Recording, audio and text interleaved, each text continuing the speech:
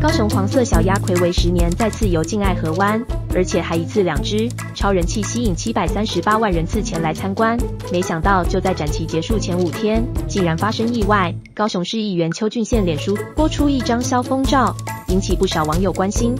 据了解，因今二十一日风太大导致拉线断裂，目前高雄市观光局已经联系厂商，希望在最短时间恢复可爱模样。